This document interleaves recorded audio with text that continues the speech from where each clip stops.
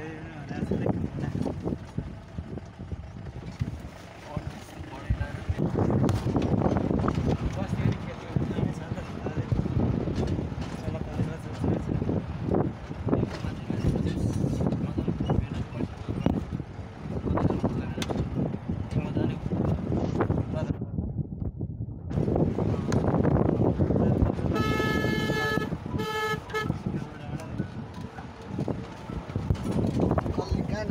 हजुर